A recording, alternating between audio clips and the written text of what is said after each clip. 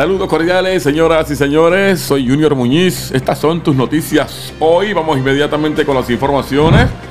Comenzamos con esta noticia. La policía intervino con un hombre que intentaba suicidarse desde un puente en la autopista 52. El hombre tenía idea suicida. Lamentablemente, alguna situación emocional que estaba atravesando el individuo llegó una persona eh, especializada en ese tipo de negociación y logró persuadir al hombre, agentes del negociado de la policía de Puerto Rico, eh, de Caguas, se movilizaron esta tarde a la autopista Luisa Ferré, conocida como la autopista 52, específicamente en el kilómetro 26.4 en dirección de Calleyas a Caguas, donde un hombre mostró intenciones de acabar con su vida, según informó el sargento, o en este caso la sargento Padilla, quien cuenta con una certificación en manejo de crisis. Esta llegó hasta el puente ubicado en el lugar y persuadió al hombre, el cual terminó desistiendo de la idea. Paramédicos de emergencias médicas atendieron al paciente y el mismo sería trasladado a una institución hospitalaria eventualmente para su posterior evaluación. En este incidente no se notificó a la policía, o sea, este incidente se notifica a la policía a través de una llamada al sistema de emergencia 911. No se reportaron personas heridas o afectadas en esta situación. Recuerde que si usted alguien conoce de alguien que está atravesando por situaciones de intento de suicidio o situaciones con depresiones severas, se comuniquen con la línea Paz de AMCA 1-800-981. 0023 1-800-00 23 981 0023 Señoras y señores, por otro lado, eh, más eh, notas importantes en el día de hoy. Arrestan a 54 personas en una gallera, en un casino clandestino, en la gallera y un casino clandestino en el mismo corazón de Atorrey. En el lugar los agentes ocuparon una bocina, un micrófono, una balanza, 26 espuelas, una máquina TH, 8 rollos de tape, 3 pegas, una tijera, una mesa de póker, 12 dardos de colores y 1800 7 dólares en efectivo. Eh, durante el día de ayer, como parte de las iniciativas del Plan 100 por 35 del negociado de la Policía de Puerto Rico, adscritos a la División de Drogas Metropolitana de Icaguas, en unión a la Comisión de Juegos y la Unidad Canina, realizaron varias intervenciones en el área de San Juan, incluyendo esta, de este, esta gallera y este eh, casino clandestino. Se jugaba póker, se jugaban gallos, se tiraban dardos todo se hacía allí. Encuentran dos hombres calcinados en el baúl de un vehículo en Río Piedras, otra doble matanza. Señoras y señores, personal de la Policía de Puerto Rico fueron alertados esta tarde, o esta madrugada más bien, a eso de las 2 y 46, sobre un doble asesinato ocurrido en la calle Frontera, que ubica en la urbanización Park Garden en Río Piedras, según se informó. En circunstancias que están bajo investigación, una llamada al 911 alertó a la policía sobre un vehículo incendiado. Al llegar los bomberos a la escena extinguieron el siniestro y dentro del baúl hallaron dos cuerpos que al momento no habían sido identificados completamente calcinados. El agente José Flores, adscrito a homicidios de San Juan, en unión a la fiscal de turno, se hicieron cargo de la investigación. Ciencias forenses tienen en su poder los cuerpos calcinados. Ellos eventualmente harán un informe sobre quiénes eran las personas que estaban dentro de ese vehículo completamente calcinado. Muy lamentablemente la situación, la violencia en Puerto Rico se ha salido de proporción de una manera extraordinaria, señoras y señores.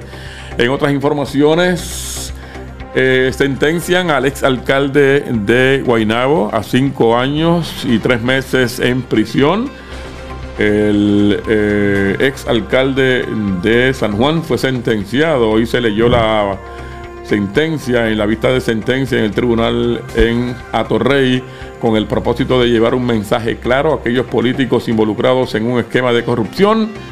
La juez Aida Delgado sentenció a 63 meses de prisión al ex alcalde de Guaynabo Ángel Pérez, quien resultó culpable por cargos de conspiración soborno y extorsión. Antes de emitir la condena, la magistrado atendió varias mociones presentadas por la defensa de Pérez Otero conformada por abogados, eh, en este caso Osvaldo Carlos, Eduardo Ferrer y José Olmo, relacionadas a el informe de presentencia. La jueza Delgado realizó la extensa explicación de todos los elementos que había tomado en consideración para imponer la pena, la que si bien estaba por encima de lo que pedía la defensa, que eran 23 meses en probatoria, no llegó al máximo de lo que solicitaba la fiscalía, que eran 78 meses. La defensa pedía 23 días en probatoria, 23 meses más bien, y eh, la fiscalía pedía 78 meses.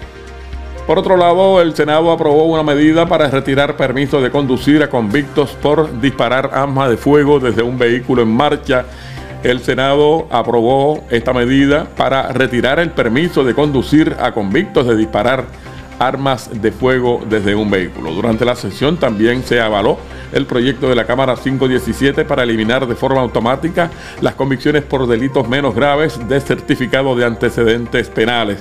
Eso fue hoy en la legislatura de Puerto Rico. Sigue en pie una alerta de influenza, se mantiene ante el aumento de casos, mientras que los casos de COVID-19 positivos disminuyeron. En la actualización más reciente del sistema de vigilancia de influenza COVID-19 se registraron la semana pasada 2.000 casos adicionales de influenza y 900 casos diarios de COVID-19 recopilados por pruebas moleculares. La principal epidemióloga del estado, la doctora Melissa Marzán destacó esta mañana que Puerto Rico entra en la sexta semana consecutiva bajo alerta de influenza ante, aunque la crisis varía, se estiman cerca de mil casos registrados por semana, cuya incidencia aún es menor que la de noviembre cuando se detectó la mayor cantidad de casos positivos en Puerto Rico, según eh, consta de esta información que estamos eh, teniendo para ustedes. Eh, hay que estar bien atentos. Están los virus que se propagan con facilidad y definitivamente tenemos que cuidarnos. Si usted entiende de que usted tiene una condición que pone en peligro su salud porque tiene problemas con su sistema inmune, use una mascarilla, protéjase, use todos los recursos que tenga a mano para evitar el contagio. Por otro lado, señoras y señores, y para finalizar, una puertorriqueña es reconocida como la maestra bilingüe del año en los Estados Unidos de América. En un, día inusual, la maestra Vivian Anet Rivera Maisonet da clases en español, aparte de los estudiantes que cursan el cuarto grado de la escuela elemental en la que labora en el estado de Virginia, dicta materias como ciencias y matemáticas en español, por las tardes las repite otro, a la otra mitad del grupo como parte del programa de inmersión que expone a los estudiantes a cursos de español e inglés en un mismo día. Esta maestra, Vivian Anet Rivera, ha sido seleccionada como maestra bilingüe del año. Clases en inglés y en español para grupos de estudiantes de escuela, de escuela elemental Interesante por demás el trabajo de esta señora como profesora de escuela allá en los Estados Unidos de América. Señores, hasta aquí. Tus noticias hoy. Soy Junior Muñiz, agradeciéndote siempre que estés con nosotros. Conéctate en todas nuestras plataformas. Dale like, dale seguir, dale suscribir en YouTube, en nuestro canal. Esto es muy importante. Y dale la campanita para que te aparezcan nuestras combinaciones y nuestras promociones junto con nuestro nuevo contenido. Gracias.